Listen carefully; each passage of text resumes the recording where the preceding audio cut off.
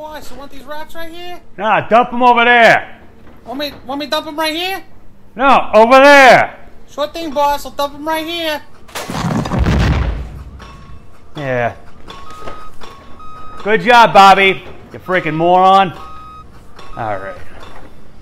Take a look at this. Yeah. Something don't look right.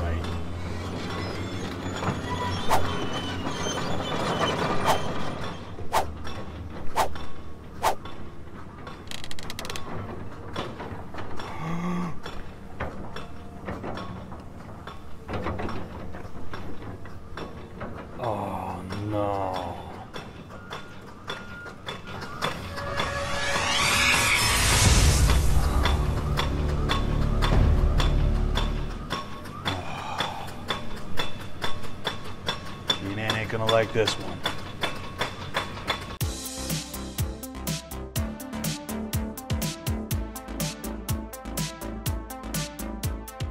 Hey guys, how you doing today? Sean here from the Crafty Android. Today we're doing things a little bit differently. We're out in my workshop, aka my garage, my garage. and we're working on Castle Grayskull. So as you can see to the right here, I've got the beginning of Castle Grayskull, which unfortunately I did start before I decided to start doing YouTube videos. But um, I had enough sense to get to a little bit of a stopping point and realize that I probably want to document this so other, other people can see how I made it. So anyway, we'll go through the details of that. But it all started with the first figure that I made, which was my He-Man figure. And if you watched my last video on Trapjaw, you'll know that Trapjaw was not my first figure. First one was He-Man. I made him with the full intention of making Castle Grayskull to go with him. And he's the only figure I have that's removable from his base. So uh, you probably can't see it on here, but there's magnets that are embedded in his feet, and there's also magnets embedded in the base here which in turn we're going to do with Castle Grayskull. I'm going to mount magnets on there so He-Man can stand up on in front of Castle Grayskull and not fall down. So, without further interruption, we're going to go ahead and get into the details. All right, guys, here it is, the beginning of Castle Grayskull. Basically, what I did is I, I made the back part of Castle Grayskull out of quarter-inch MDF, sketched it out, and then cut it out with a jigsaw. And then the base down here is also quarter-inch MDF. So on the back, I built a little bit of a platform. And what I'm going to do is the power supply for the LED lights that I'm to use in Castle Grayskull is going to sit right down in here. And then I'll run the wires up through the back. And uh, one some wires will lead to the window here. And actually plan on putting some LEDs in the uh, mouth of the jawbridge. But back here, for the, uh, I guess you'd call them the joists, I just used um, one by four common boards and cut those to elevate the platform in Castle Grayskull up. And then also cut out some small pieces of one by four common board here and cut them down to brace up the backing so it doesn't wobble very much. It's actually pretty pretty secure, pretty stiff. And on the front here, I started uh, working on my foam work already. So as mentioned before, I had the MDF, the common board, and I'm also using one and a half inch insulation foam. I have a few pieces of foam already stuck together, and I used wood glue for that. But from now on, I'm going to use foam board adhesive. I'll also be using retractable utility knives, spray foam for the rocks in the face of the castle. Last but not least, files, rasps, sandpaper, and my Dremel tool.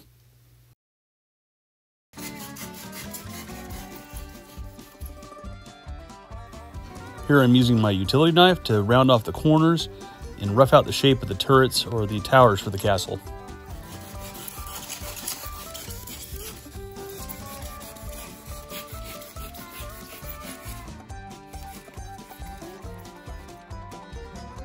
Now I go in with my rasp and round out the corners further.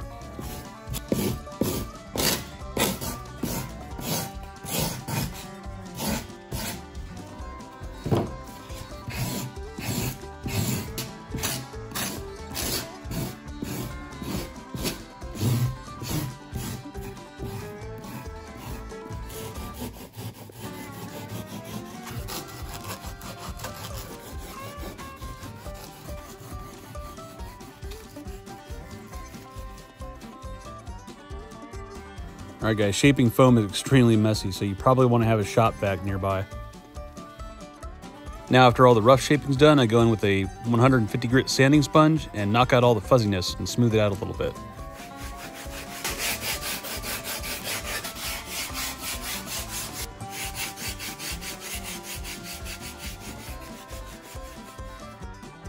The right hand turret on Grayskull's got a window, so I'm marking that out. Now I'm going to go ahead and put on my router bit onto my Dremel tool and get ready to cut the window out.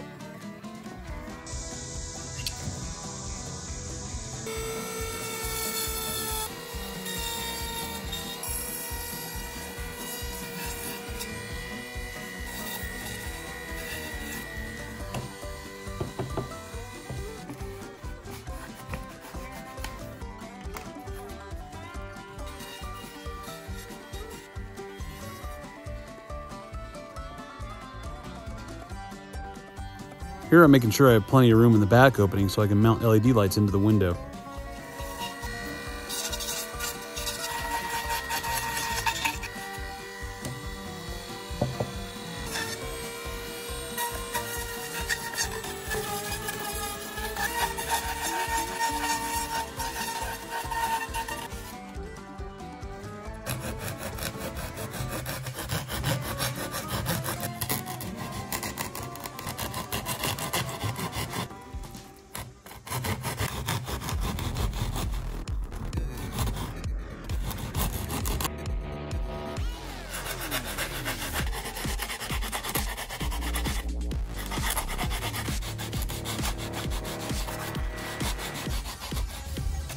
Time for a quick test fit to make sure everything lines up right.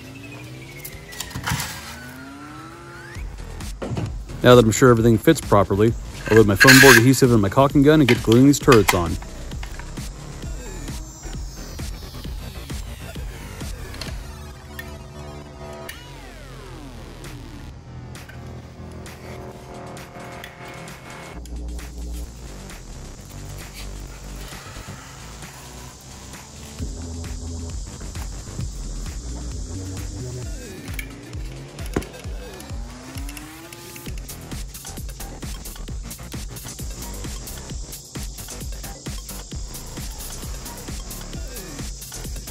Okay, now that the towers are glued on and secure, it's time to get the spray foam and start making the front face of the castle. I initially forgot to put gloves on when I started spraying the spray foam, so I had to take a pause and put those on and then move Grayskull outside because I didn't have adequate ventilation. I was wearing a respirator mask because the fumes from the spray foam are highly toxic, so if you're going to use this stuff, make sure you're in a well ventilated area and wear the proper PPE.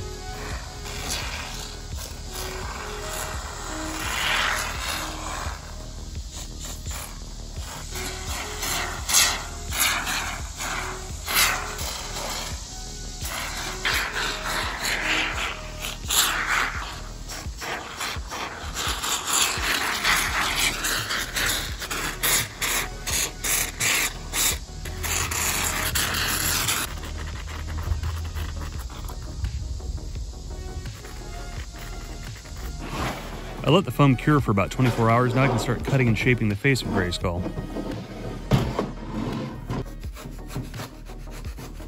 First, I'm going to start cutting the excess foam away from the inside of the mouth opening.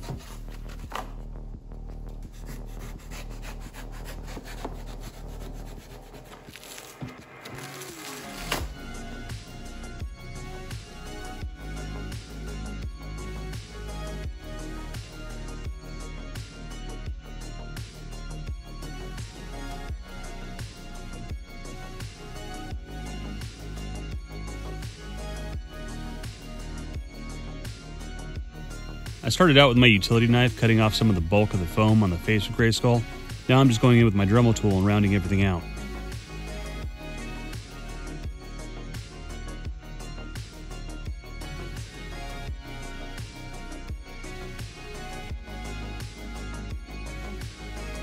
I saved the scrap pieces of foam so I could build up some rocks where it was a little bit thin.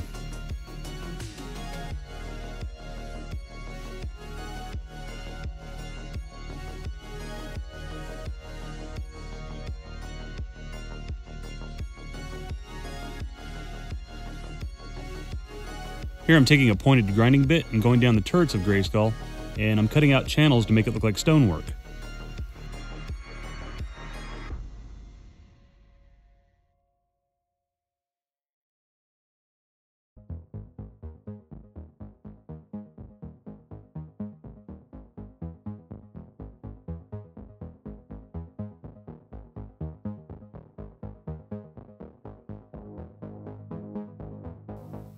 All I'm doing here is just using some leftover pottery plaster that I had. I just wanted to go ahead and use it up, so I'm going to mix that up and apply it to the face of Grayskull to harden up the outside.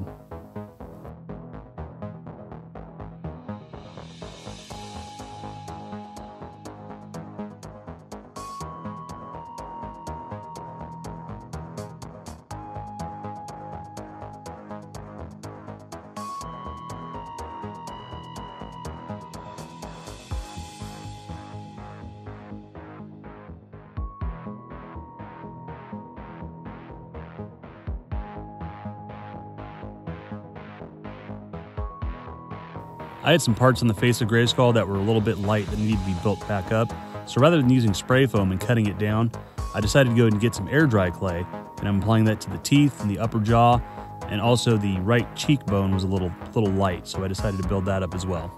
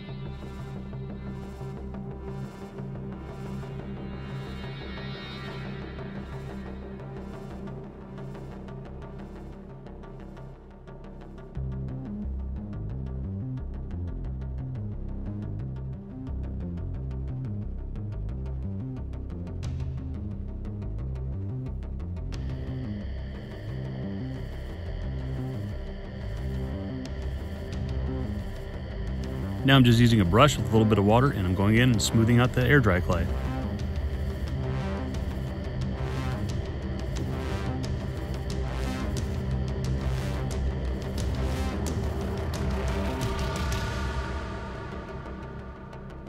Once all this dries, it's time for the outer shell. I'll be using wood glue, acrylic paints, a chip brush, some disposable cups, a stir stick, and good old cheap toilet paper. I'll start out putting some wood glue into a cup. With a separate cup of water, I'll start adding acrylic paints with black, green, and brown paint. And stir it up until the paint's completely dissolved in, into the water. You want to add just a little bit of water to the wood glue because you don't want to water it down too much.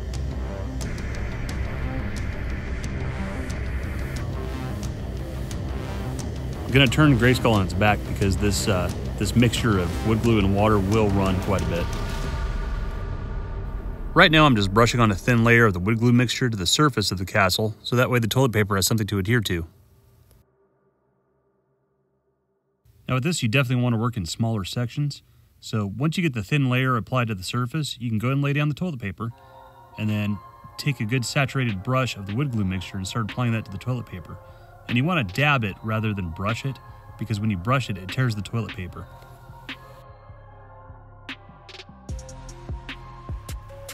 Once this layer is applied to Castle Grayskull, I'm going to let it dry for about two days. It takes a while for it to dry, but once it does completely dry, it's going to be rock solid.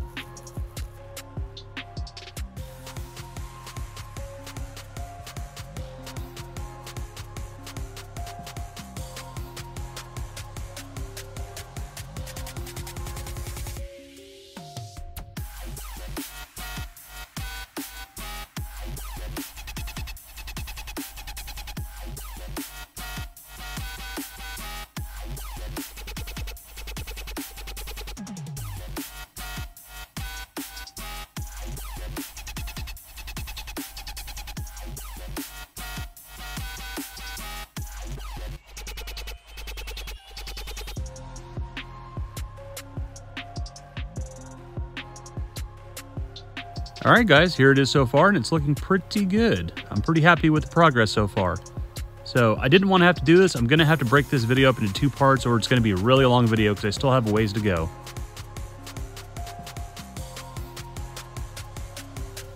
Hey guys, if you enjoy my content, be sure to like, share, and subscribe, and help my channel grow so we can continue on crafty journeys together in the future. Always remember, guys, stay crafty, and I'll see you in part two.